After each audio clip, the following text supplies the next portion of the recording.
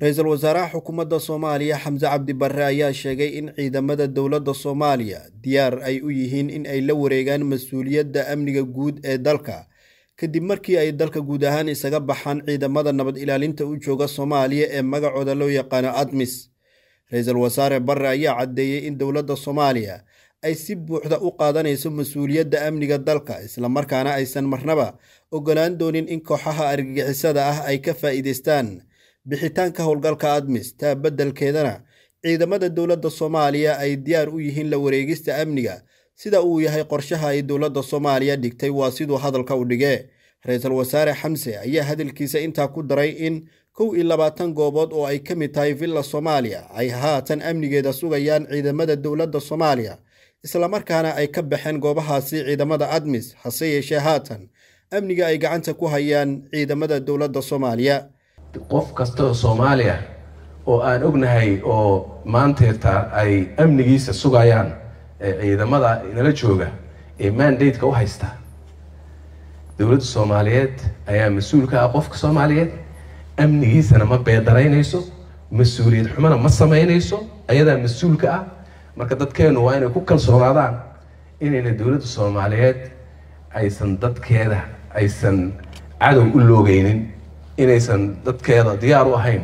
Intay ciidamadu ka baxaan oo ka baxa dhahdo ciidamo inay deedna shabaab u imaadaan ay gowrgowracaan dowladda soomaaliyeed ma aqbalayso suurtagal maa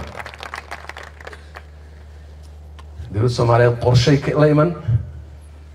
Qorshaha hadday dadku inaga baxaan ilan weligood laynoo joogi maaye. Meesha laga baxayo waa inaynu inagu amnigeedana la warin. Waxaa ugu horreeya oo hormuud ka ah dowlad dowladaha xubnaha dowladda federaalka meel hadday tahay jubbaland waxaan rajaynaynaa inay hadday ka baxaan ciidamada joogaayay cid walba leh.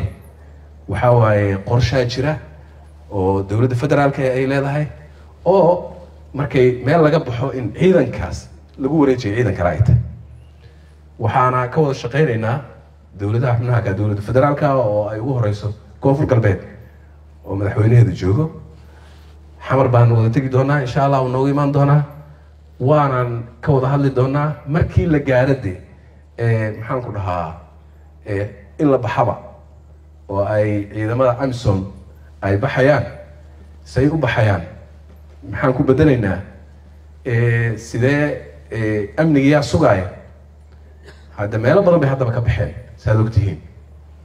Toddoba kun oo askari oo amisom a baxday toddobadaa kun ee askari ee baxday meel ay inta ka tageen markay ka tageen shabaab qabsaday maa jirto. Toddobadaa kun ee askari ciidamadeena bedelay. Amnigoodina waa sugan yihiin. Dadkeeni. Ciidamadeeni baana haya. Marka madaxtooyada ugu horeysa oon anagu joogno amisom baana sugaysa amniga iyaga. Laakiin hadda wiilasheena iyo gabdheheena amniga iyaga suga meelo kaloo fara badanna waa jiraan. Marka ilaa iyo kob iyo toban maxaan ku dhahaa kob iyo labaatan goobood oo ayay ciidamadeenu ay amnigeeda la wareegeen oo ay degan yihiin oo ay amnigoodii sugayaan oo aan wax dhibaataa ka jirin. Ra'iisul wasaaraha xukuumadda soomaaliya xamse cabdi barre ayaa hadalkan ka jeediyey magaalada baydhabo ee xarunta ku meel gaar u ah maamulka koonfur galbeed ee soomaaliya halkaas oo uu u tagay xalinta xiisad ka dhalatay kadib markii maamulka koonfur galbeed ay diideen inay baxaan ciidamada etoobiya cabduqaadir maxamed c b a magaalada muqdisho